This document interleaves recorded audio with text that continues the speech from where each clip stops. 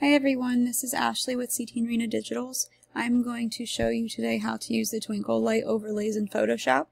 Um, I have two images open. I have one with a darker background and then I also have um, a Cake Smash backdrop open on white.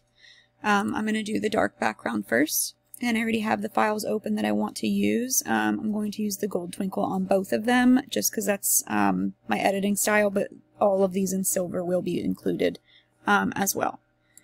So first I'm going to go over to this image. It's the overlay that I have open that I want to use. Um, go to select all, edit and copy, and paste into a layer above my image.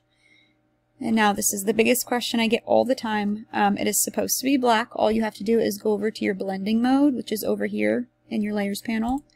Change it from normal to screen and then go ahead and reposition it where you want it, adjust the size.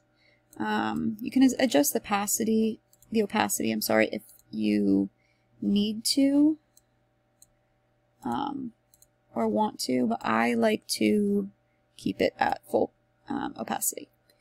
So obviously we're going to want to brush this off, as, off of our subject, so make sure that the overlay layer is selected. Um, create a layer mask go over to your brush, make sure that um, black is selected, 100% opacity, 100% flow, um, up to you what size brush you want to use. I'm going to zoom in on this little cutie and then just go ahead and brush it off. I don't want any of this um, light on him either actually brushed a little bit too much of that off. So if you need to brush anything back on, switch from, from a black brush to a white brush, and then you can brush, just brush it right back on.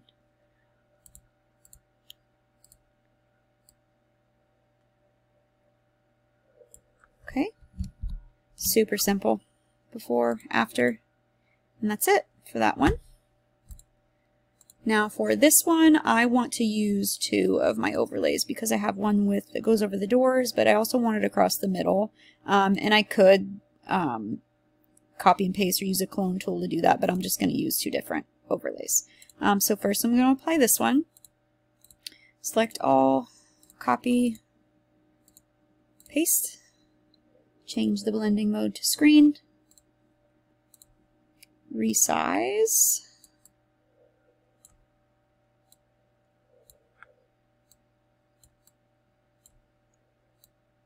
That looks good there.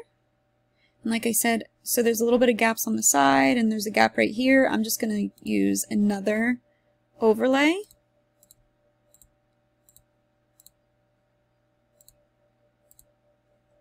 Copy and paste it. Change the blending mode to screen.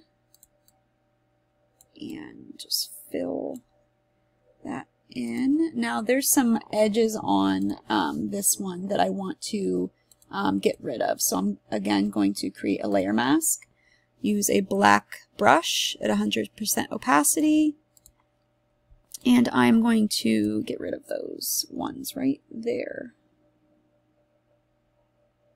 Um, and now if you wanted more lights in the middle, you could add another overlay um, and just erase parts of those.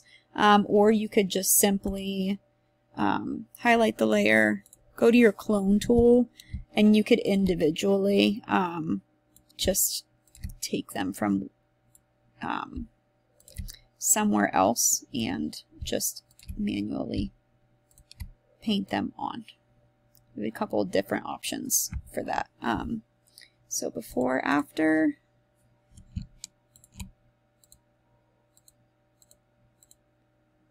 and that's it.